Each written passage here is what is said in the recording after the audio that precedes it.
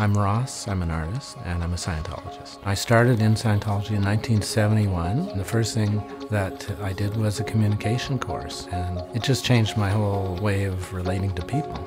Through Scientology, I've been able to communicate to people better, I, I'm comfortable with people, I'm happy with myself and what I do in life, and I'm able to make connections with people.